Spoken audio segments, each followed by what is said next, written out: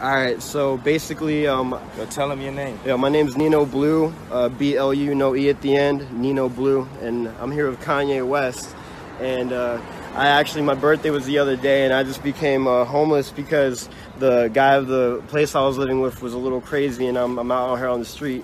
And Kanye's bringing me into the studio right now. He heard me rap, he let me rap to him. He says I have good energy, and he's gonna show me some beats and stuff and I feel extremely blessed. I feel very happy. I feel like, you know, God is just looking out for me right now, and I don't really have like any words at all to describe what's going on. It just feels like a crazy ass miracle, and like, and I just want everyone back there to know that if you have a dream or you have anything that you feel like you're pursuing, like keep going for that shit until you to the very end, because you don't know what potentially could happen. The universe works in very mysterious ways, and I feel extremely blessed for Kanye West to help me out with this.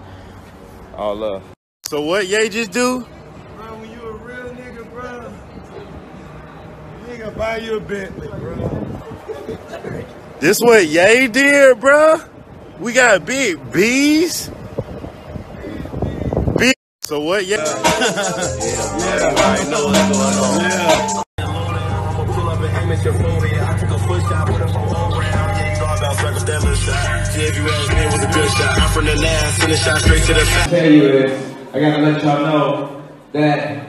I moved back to Chicago. I'll never leave it again.